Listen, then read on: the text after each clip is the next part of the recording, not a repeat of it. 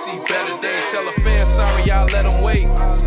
Shit up there like a Saturday. Listen to me, how beat speed up like a battle. Yo, what up, guys? It's your boy Kofi with KO Sports Talk back at with another video. And in today's video, we're going to be discussing the Caleb Williams interview um, today.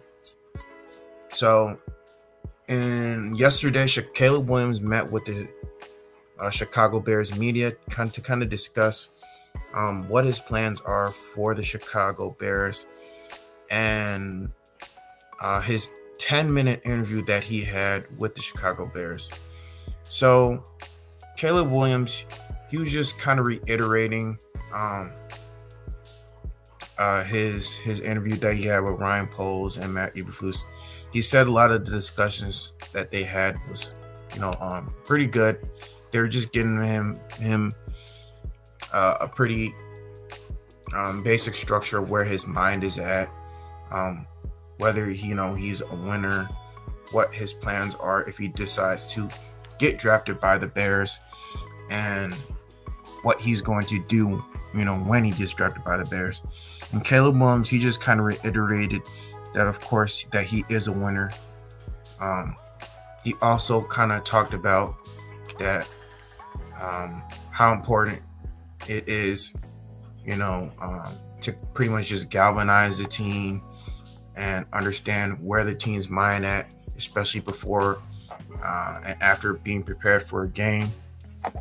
Um, during um, the interview, a lot of the reporters were just kind of talking about whether or not, you know, is it okay for the quarterback to kind of be in the pocket to deliver the ball and how to be an escape artist.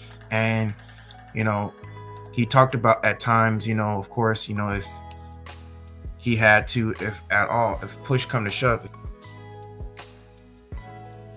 drafted too. But I'm going to put the link in the interview and I'm also going to give you some clips um, within the interview for you to look at. But that's all that I have for today, guys. I just kind of wanted to kind of give you guys that update in regards to uh, Caleb Williams uh, interview. But stay tuned for more updates.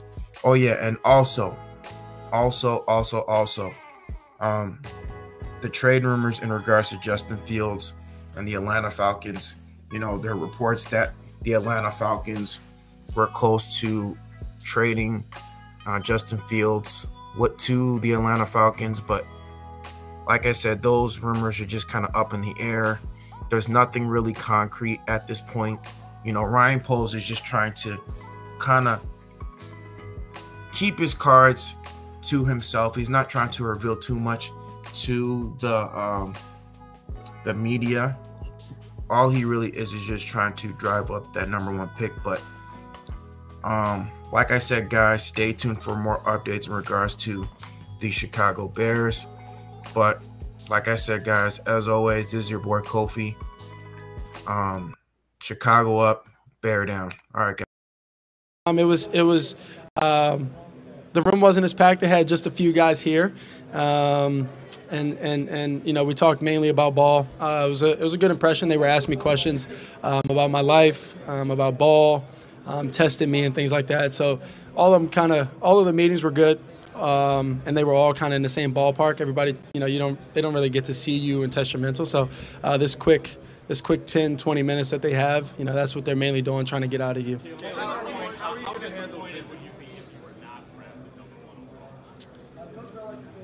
It's not a thought in my mind.